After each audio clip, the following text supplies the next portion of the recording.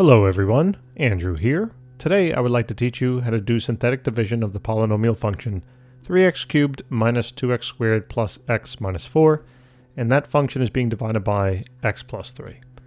So uh, in order to do synthetic division, we like to set up a little table to help us out. Take a look. Bam! So my first step is going to be to fill out this top row of my table. Now the term that goes here is going to come from your dividend, or it's the value here that's being divided into, okay, this polynomial.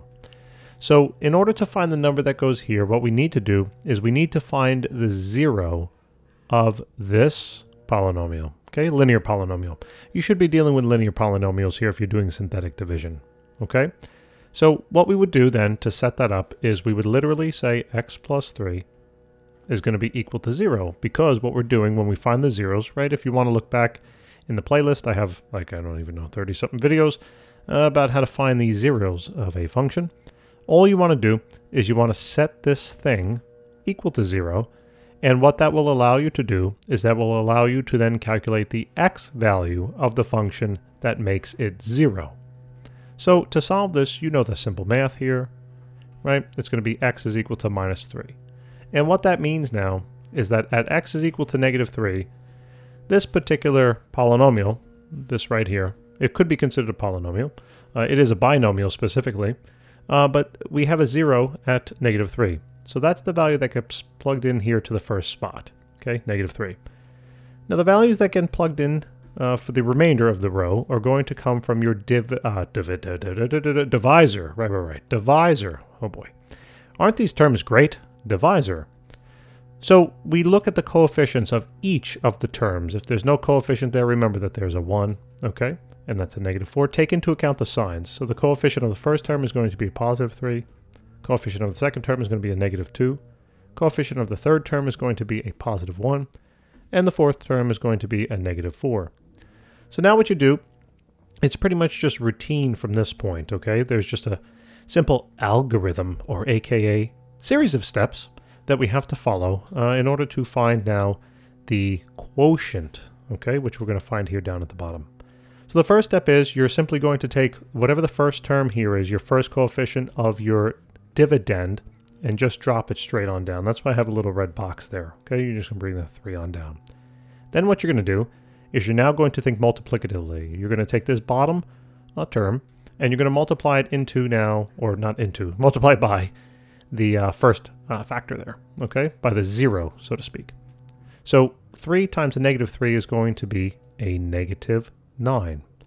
What you then do from here is to find this term now, you're simply going to add this column up. So you can place, if you want, like a little plus sign here on the sides, okay? So now what we're going to do uh, is we're going to add those two together, and that comes out to be negative 11. Cool. Then we're going to repeat the process. You're going to take this term, multiply it by this one, two negatives make a positive, right? And that's going to work out to be now positive 33. So when you take then a positive 1 and add it to 33, you get now 34. Okay? Repeat the process again. You're going to take this 34, right? This gets a little nuts here. Take the 34, multiply it by then the negative 3, and what you're going to work out, and what it's going to work out to be is that should be, I think it should be 102, right? I might just do it on the side. Doing it in my head, might mess it up. I know it's probably going to be, I know it's going to be negative though. Um, and then that's going to be a 1, 2, 9, yeah, 102, okay? So that's going to be negative 102 uh, because it's a positive and a negative. So now all you have to do is add these two together. And this should now work out to be now a negative 106. Okay, so we now have these coefficients uh, of our quotient. This isn't the final answer, all right, because we actually have to find the polynomial quotient. But what you want to remember from here now is the last column here will always represent your remainder. Okay, your remainder. The column next to it will always represent your constant term, or C, and then you, this is going to represent your x term, this is going to represent your x squared term, and dot, dot, dot, dot, dot, on and on and on. Okay? Now, there's one other thing I want to mention here. Um, uh, the reason why these are going to represent now um, your coefficients, you don't have to do any other work, is because the coefficient here of your x term in your divisor was a 1. So there is one little step here at the end. You don't have to do it on this problem, but you should be aware of it. that um, if this was, let's say, a 2, what you would then have to do is you would then divide these terms, not the remainder, okay? You would divide your constant, your x, and your x squared term, and dot, dot, dot, dot, dot, dot, however many there are, by the value of 2, all right, by the value of that 2. And, or if it was a 3, it would be divided by 3, etc. Here you can clearly see, right, if I divide it by 1, who, who gives a darn, right? It's the same darn thing. So we're not going to do that. In any case, we're pretty much finished at this point. Okay, so to write this on out now, it's going to be 3x squared, 3x squared, minus 11x, minus 11x, plus 34, plus 34. And now with the remainder of negative 106, but remember, whenever you have these remainders, it's a minus, okay, because of the negative sign there. It's going to be 106 over then your divisor. So it has to be the x plus 3. Do not put it over just the negative 3. All right? And this is now technically the answer. Okay? That's how synthetic division helps you.